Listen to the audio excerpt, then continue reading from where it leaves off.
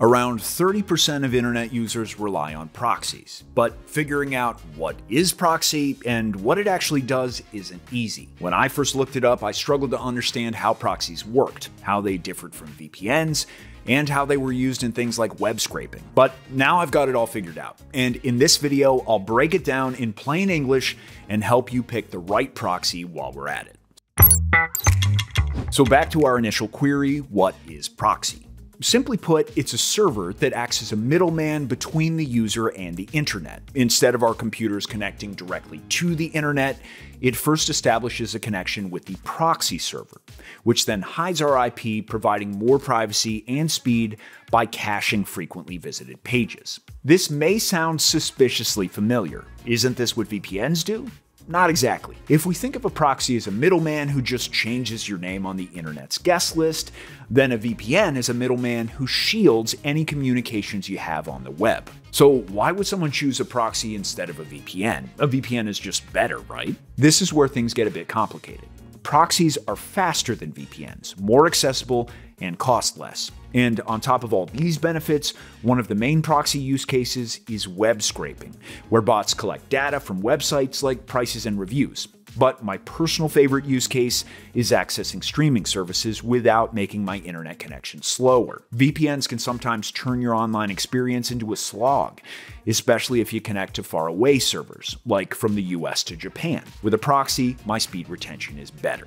Now that we know what is proxy server, let's discuss the type of proxies available. One thing to note is that the list of proxies is quite long, so I boiled it down to the four most common types. Keep in mind that if you're already thinking that having a proxy sounds cool, you can grab a discount on any of the four we cover in this video. Just check the links in the description to save some cash. Let's start with residential proxies. They use IP addresses from real homes, assigned by the internet providers, so they look just like regular people browsing from their own devices. In my opinion, this type offers one of the best cost to anonymity ratios. While using this kind of proxy, your traffic looks organic, making it difficult for platforms hosting geo-specific content to detect and block your internet traffic. This makes a residential proxy great for web scraping. However, there is a con. The residential proxy is the most in demand type of proxy, making it pretty pricey. Next up are data center proxies. These are artificially created in data centers, making them less organic than residential ones straight out of the gate. However, data center proxies are fast and reliable at a low cost. This makes data center proxies attractive to those who are looking to web scrape or employ large scale data mining operations. Of course, there's the obvious con of these types of proxies being easier to detect. That said, if you need a fast connection, these proxies will work great for you. Just don't forget to grab the discount code in the description. The third type of proxy I want to cover are mobile proxies. IP addresses assigned by mobile carriers to smartphones and tablets.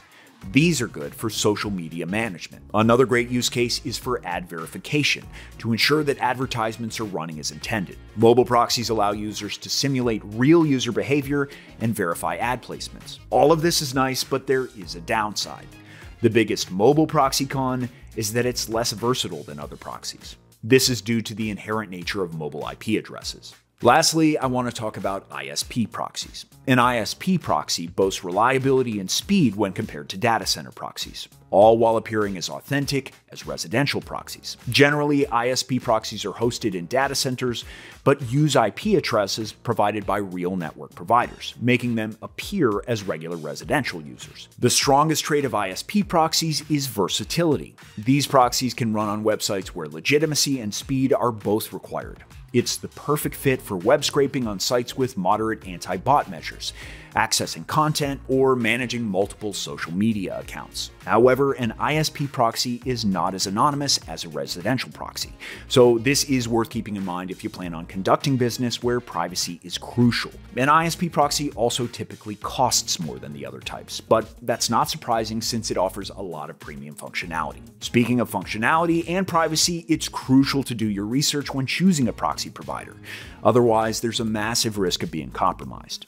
Legal issues, data breaches, and involvement in cybercrime are all feasible outcomes if the servers you're getting your proxies from aren't ethical. I highly recommend verifying that the provider you choose adheres to ethical standards and complies with all laws to make sure that you're protecting your security, privacy, and your reputation. As an example, Decodo checks all of these boxes. Their prices are good, the company's reputation is great, and most importantly, it ethically sources its servers. There's a link in the description below for a discount, or you can simply scan the QR code on screen. Anyway, here are the key takeaways from today's video. As with all things in life, choosing the best proxy server depends on your needs.